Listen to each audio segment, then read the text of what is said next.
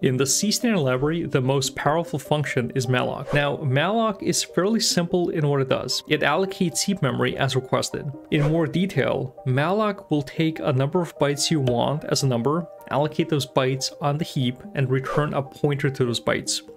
Since malloc doesn't know the type of the pointer, you may need to cast it if you're using a more strict language, such as C++. Often you want to use sizeof with malloc. For example, if we want to allocate 3 ints, but we don't know what the compiler will set as the size of an integer, we can use sizeof int times 3 to allocate enough bytes to fit 3 ints. For example, our code will look something like this.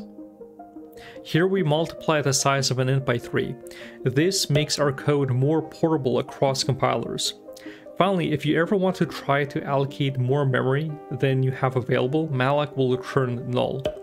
And keep in mind, when you're done using the memory, it's good practice to both free and assign your pointer to null after you're finished with your memory. If you want to see more videos like this, check out the playlist on your screen right now and I will see you later.